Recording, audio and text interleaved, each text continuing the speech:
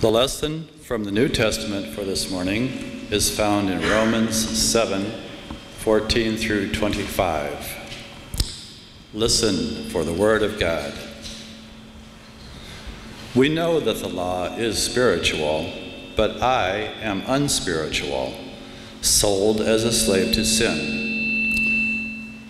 I do not understand what I do, for what I want to do, I do not do, but what I hate, I do.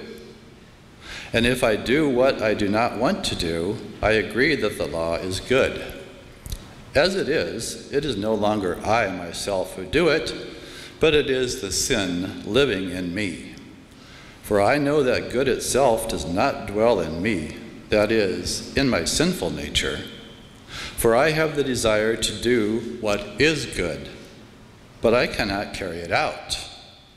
For I do not want to do the good I want to do, but the evil I do not want to do. This I keep on doing. Now, if I do what I do not want to do, it is no longer I who do it, but it, it is sin living in me that does it. So I find this law at work. Although I want to do good, evil is right there with me. For in my inner being, I delight in God's law. But I see another law at work in me, waging war against the law of my mind and making me a prisoner of the law of sin at work within me. What a wretched man I am! Who will rescue me from this body that is subject to death? Thanks be to God, who delivers me through Jesus Christ our Lord. So then, I myself in my mind am a slave to God's law, but in my sinful nature, a slave to the law of sin. The lesson from the Old Testament from this morning is found in Psalm 1 on page 380 of the Old Testament in the Pew Bibles. Blessed is the one who does not walk in step with the wicked, or stand in the way that sinners take, or sit in the company of mockers, but whose, but whose delight it is in the law of the Lord, and who meditates on this law day and night. The person that is like a tree planted by a stream of water, which yields its fruit in season, and whose leaf does not wither, whatever they do prospers. Not so the wicked. They are like chaff that the wind blows away. Therefore, the wicked will not stand in the judgment, nor sinners in the assembly of the righteous. For the Lord watches over the way of the righteous, but the way of the wicked leads to destruction. The word of God for the people of God.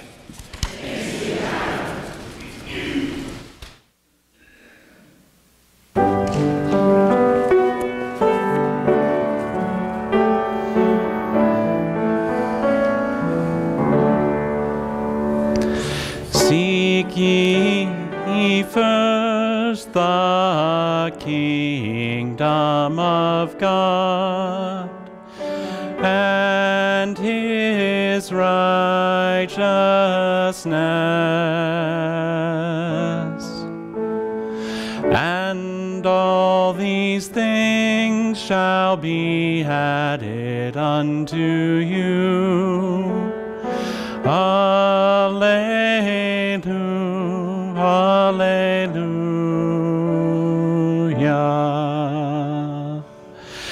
Ask ye first the kingdom of God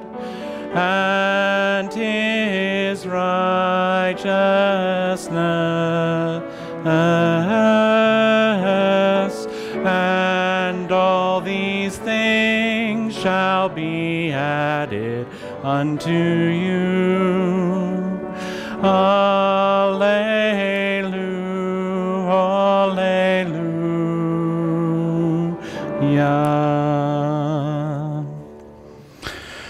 O Lord,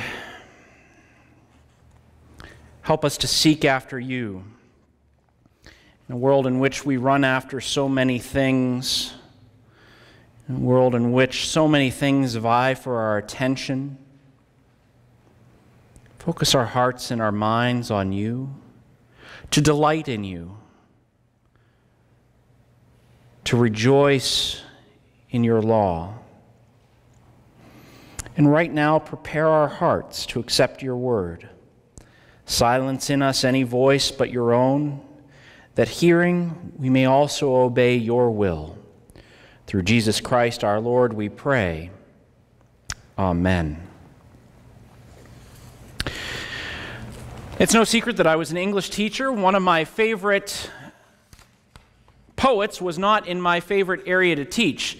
I love teaching British literature. I hate American literature. It's out there, it's all right. Uh, Jan, I'm sorry. I strongly dislike American literature. So we had a conversation about that right before the service. So I strongly dislike American literature, eh, with a notable exception. I love the work of Emily Dickinson. I love reading her poems. I love uh, uh, teaching her poems, and perhaps it's because they're very, very short. The one that I'm going to share with you is eight lines. And so it kept my attention very, very well. That's, that's about where my attention span is. And one of my favorite poems from Emily Dickinson is the one numbered 1263, which is remarkable in and of itself that she wrote 1,200 poems, and this is 63 past that. And it reads Tell all the, tell all the truth, but tell it slant. Success in circuit lies, too bright for our infirm delight, the truth's superb surprise. As lightning to the children eased with explanation kind, the truth must dazzle gradually, or every man be blind. Fantastic poem, and one that I think resonates with the scriptures. Perhaps that's one of the reasons why I enjoy it so much, is because 3,000 years before Emily Dickinson wrote this, God was putting poetry onto the lips of his people. Dickinson says that, that we can't uh, understand sometimes the truth straight on, and that's true. Some of us enjoy the directness of Paul when we read the scriptures. Some of us enjoy the fact that it's, it's just laid out there. Paul pulls no punches, although it may be as, as, uh, poor, uh, uh as poor Steve had to file through that I do not do what I want to do, but what I want to do I don't it's direct, it, even if it's confusing. And we can like that. We might like the, the other letters. We might like the letter of James, the directness there, where James says, You believe there's one God? Good. Even the demons believe that. It's direct, it's, it's very easy to interpret. Some of us like the narratives more. Some of us enjoy going through the stories of Jesus, the Gospels. Some of us enjoy going through Luke's part two, the book of Acts. Some of us like the histories in the Old Testament to see the, the, the way in which the story of God unfolds on the page. We like the narrative, we like the stories. We like following the near soap opera script of Joseph of Jacob, Isaac. But some of us resonate, just as we did in high school, a bit with poetry, and some of you are going, oh no.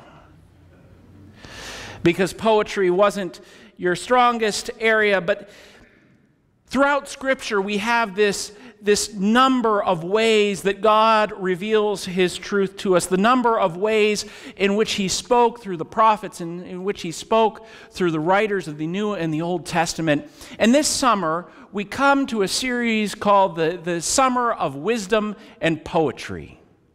We're going to be looking at Psalms and Proverbs this summer and the ways in which God speaks truth through the wisdom sayings and through the poetry, largely lit, written by David, but written in other ways. Psalm is a funny word. All of us went through elementary school and put the P on front of, in front of it for good fun. We talked about the Psalms. But we, do we have an understanding of what a psalm is? I think we get an understanding that it's poetry.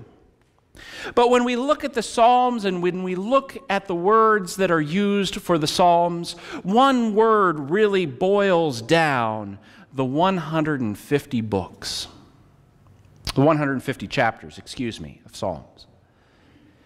Praises. At the heart of the Psalms is praise to God, it's worship. And for centuries upon centuries upon centuries, the Psalms have shaped the prayer and the devotional life of the church. In fact, the Psalms were, were so important. I was sharing with, with Mike as I was preparing a bit for, for uh, this uh, the week prior to last that the Psalms, the Psalter, as it's called when you go from chapter 1 to chapter 150, was actually required for ordination in the early church. By 700 AD, in order to hold any ecclesiastical office, you had to know the Psalms perfectly. Elders, take note of this. Deacons, take note of this. But it shaped the worship and the devotional life of the church. And my hope is as we go through this series, we find our own worship and devotional life shaped. From the very beginning here in Psalm 1, because Psalm 1 has to do with that very subject of our devotional and our meditative life. It's not too hard to see. Some of the aspects of the Psalms are very easy to understand. Here we have Psalm 1, which is a psalm about strength and stability that comes through God's Word, through knowing God's Word, but a bit more than that, and we'll get to there. The opening of Psalm 1 begins with a comparison, a very, uh, a very large comparison, and it may seem a bit confusing at times. But it starts out Blessed is the person who doesn't walk in the counsel of the wicked, or stand in the way of sinners, or sit in the seat of mockers. But that person's delight is in the law of the Lord, and on God's law they meditate day and night. That opening comparison the first part of it is broken down into three different areas, and, and it functions as a single unit. We have different phrases, expressions, we call them idioms. And perhaps sometimes we feel like an idiom. But we, it's an idiom, it's an expression that gives us an understanding. One of the ones that Dale uses with me is from Genesis to Revelation. Don't, you don't have to go from Genesis to Revelation all in one sermon. we talk about the whole nine yards, which, of course, was a military term for loading ammunition and how much ammunition was being carried. And that expression has come to mean everything. We have different idioms that express different concepts. And here, the psalmist uses a series of three idioms to express to us the range of ways that we can stray from God's word. Uh, we can get confused by the beginning. A lot of translations start off with, Blessed is the person who doesn't walk in the counsel of the wicked. And as I do occasionally, I encourage you to take out your pencil and mark through a word in your Bible to help you understand it a bit. And here I'm going to do that again because blessed is the person who doesn't walk in the way of the ungodly. Wicked, we, we read that and we say, well, I'm, I, I may not be perfect, but I'm not wicked. At least, not until I meet a Cubs fan, at least.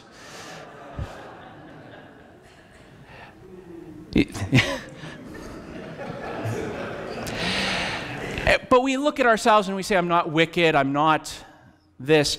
And what the, the psalmist is going to do is increase the language from line to line. Blessed is the person who doesn't walk along in the counsel of the ungodly, those who simply don't acknowledge God's existence.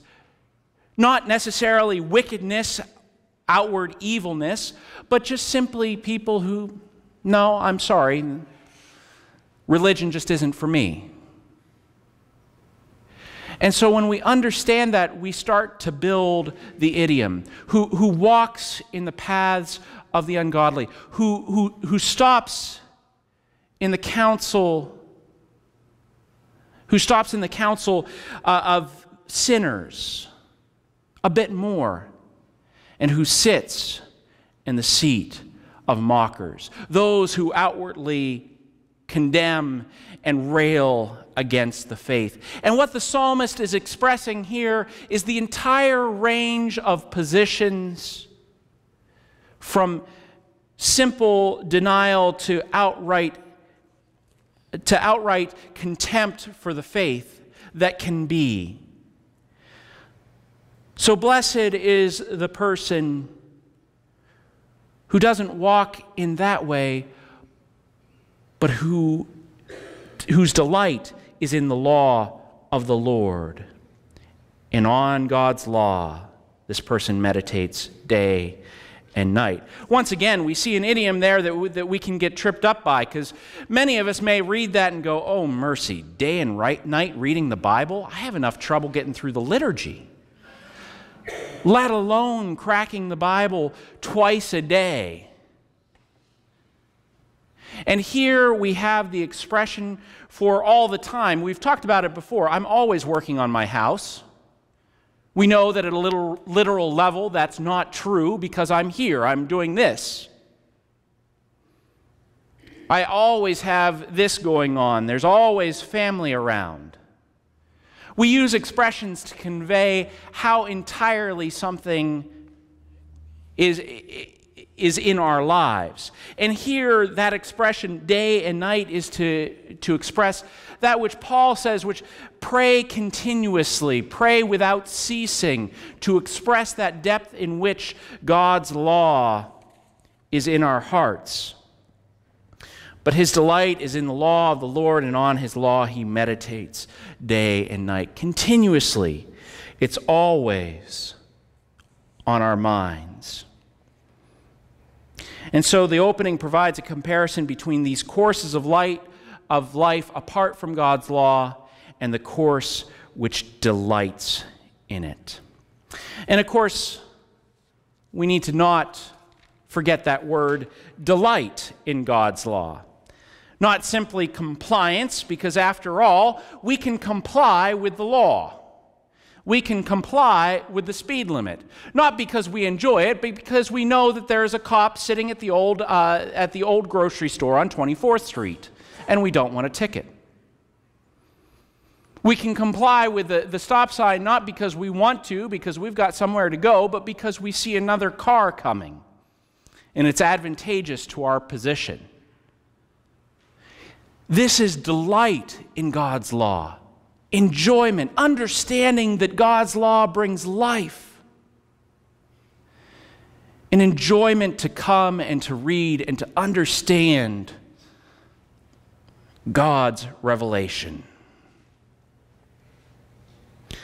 And so, this delight is something that, that is from within us, something that helps us in that meditation day and night because we want to. You know, it's funny. Uh, we were when we were down in Chavies this past week. Uh, we had our assignments, but we made time because we were in Chavies two years ago, and we made time to go down and visit one of the residents that we helped two years ago, Miss Lily, Lily Niece. She is a force of nature. When we got there two years ago, the staff warned us. They said, Now she's a bit fiery, so just be warned. And we fell in love with her.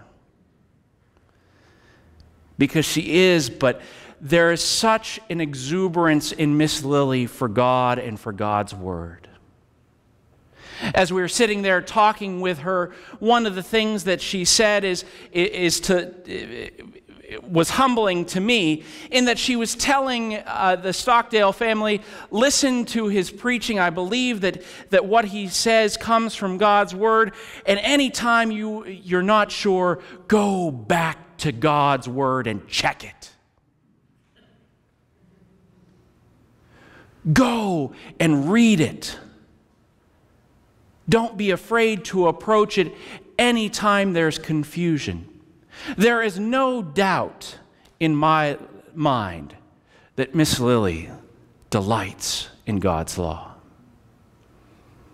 Over and over, she sings the praises of God's provision in her life. A woman whose husband has been taken from her, whose home was falling down around her, and yet she says, Praise the Lord. Because I get up in the morning, and every step I take, He provides for me. Delight in God and God's law.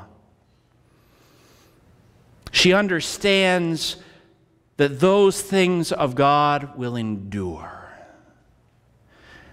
They're like a tree planted by an irrigation ditch, which yields its fruit in season and whose leaves do not wither. We're embarking on the, the summer time. We're embarking on that heat and humidity that is just energy sapping. And yet, the image here is of a tree planted by streams of water that, as the humidity is 4,000% and it's 400 degrees outside with a heat index of 500, the leaf doesn't wither.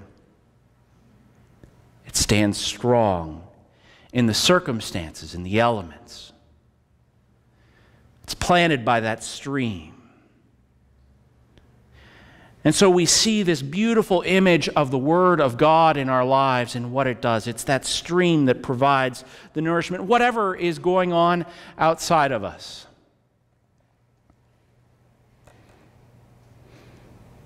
It's not a health and wealth psalm. Make that clear. It's not saying that if, if you just delight in God's law, you're going to have a Lamborghini in your, in your driveway tomorrow. You'll have a raise. Your teeth will be whiter. You'll be an inch taller and 40 pounds thinner. That's not what this psalm is saying. Because we can read that, whatever he does prospers, and we think, come on. But that which is done is built in an eternal sense. It endures no matter what the circumstances are outside of it. But then the psalmist moves, and the second half of the psalm highlights the temporary nature of life and works apart from God's law. Not so with the wicked, they're like chaff that the wind blows away. Those things that we build outside of God's law, outside of God's will, have a temporary value, value to them one of the things that I have uh, considered and, and reflected on as, I, I, as I've worked is television and radio shows. It's funny, we get very, very wrapped up in them. Uh, during the mission trip, there was a lot of discussion of different television shows. I still like radio shows. I still love Car Talk, even though it's reruns. I love the Prairie Home Companion. And yet we, we love these things, don't we? We can rattle off television shows from, for seasons and wait with anticipation for what comes next. We get sucked into the narratives. We cry when characters die. We curse the writers. And yet, it's not real. They're characters. The stories aren't real. They're, they may be modeled on something of reality, but they're, they're a shadow of what happens.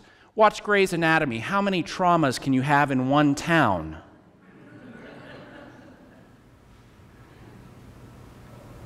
but we hype ourselves up with stories that are of no content, no real content.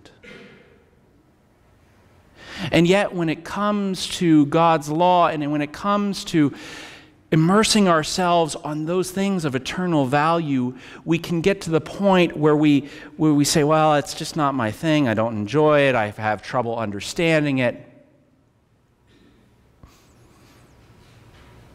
But we will immerse ourselves in those unreal stories. We'll allow our emotions to be caught up in characters that aren't real? How are we spending our time? What are we building? Do we delight in God's law? And, let me clarify this is not forcing the scriptures on others. This is, this is about an internal disposition towards God's word in our own lives. Where do we stand with that? Can we turn the mirror on ourselves and say, Do I delight in God's law? As I said, that we can get tripped up in this because of our own problems. The number of times that I have heard that, well, I just have trouble understanding the scripture. I have, it's just too far removed. I don't understand the context. I don't understand the words. I don't understand the meaning. My mom, back in the early 90s, was very, very much against technology. I remember when we finally got our first com uh, personal computer in 1998, I believe it was. It was a Gateway 2000 P5 133. See, my mind fills with useless information too. This thing has more computing power and memory than it did. And it's funny because she resisted it and she didn't want to deal with it. And over time, she learned bit by bit. And it's very, very funny now because my mother, when she travels, she can't go anywhere without her tablet. Who are you and what did you do with Barbara Benson? But bit by bit, she learned and she learned to use it and she learned to, to enjoy it and to have it there. She doesn't even use her laptop anymore. She bought a new one, and I said, Mom, why? Well, I might need to use it.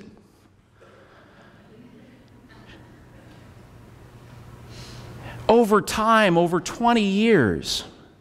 And it's funny because we make those excuses, we make those reasons as to why we won't engage the scriptures when over time we will learn to use and learn to love it. Is my mother perfect at technology? No. Is she going to, is she going to go code an app? Heavens, I'm just happy when she remembers her passcode. But the analogy still stands that we may never be, we may never read Greek or Hebrew. I'll probably never read Aramaic or Syriac because there's always more to learn, or Latin. But we can, over time, love and delight in God's Word. To delight in His law by constant use and by constant meditation. I love the Scripture more and more when I approach it. You know, I force myself to change series.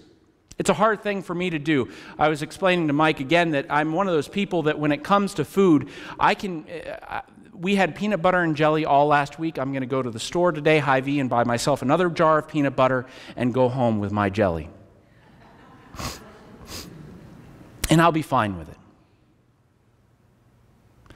But we, I force myself to change in terms of Scripture so that we don't get into a rut and I get nervous at times about switching series because I think, oh, this is a new workup. I'm not sure where everything goes in it. But every time I approach the scripture, I delight in what God has for us, what God has for me in my own life. When I open the Bible and when I enter into the conversation with the saints who are still here and who have gone before me, it's a delight. Because there is always something there, and it's of an eternal value. Blessed is the man who doesn't walk in the counsel of the wicked, or stand in the way of sinners, or sit in the seat of mockers, but his delight is in the law of the Lord.